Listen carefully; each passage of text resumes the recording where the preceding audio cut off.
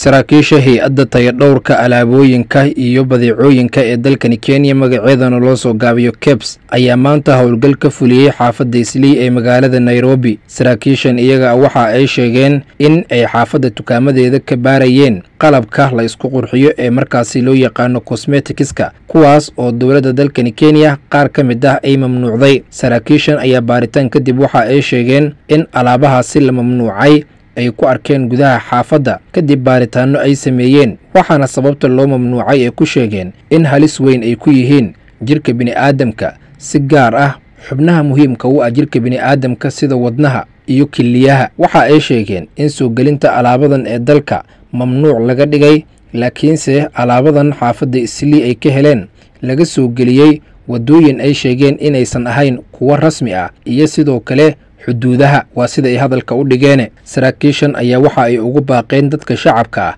in aysan iibsanin alaabadan iyaga ah ee dowladda ay mamnuucday isticmaalkooda waxaana ay ugu baaqeen dadka iibinaya in ay iyaguna joojiyaan iibka. Haddii kale tallaabo sharci ah ay ka qaadi doonto dowladda dalkani kenya.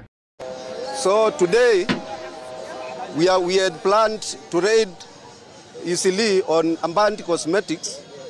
which we have found they are there and they are very ambutant.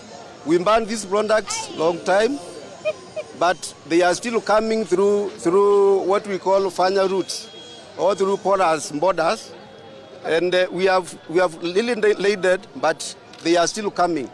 So we have heightened surveillance of these products.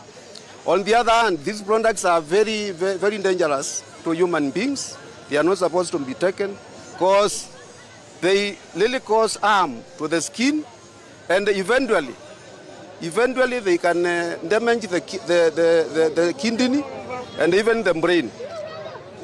Actually, hydroquinone and mercury are very, very, very poisonous. They are hazardous and they are not supposed to be used by anybody in this country. And uh, since we banned them in cosmetics, we are advising the public not to buy these products and ensure that also those who are selling, we are advising them to stop selling these products. Otherwise, the, the, the, the, hand of the government is with you, is on you.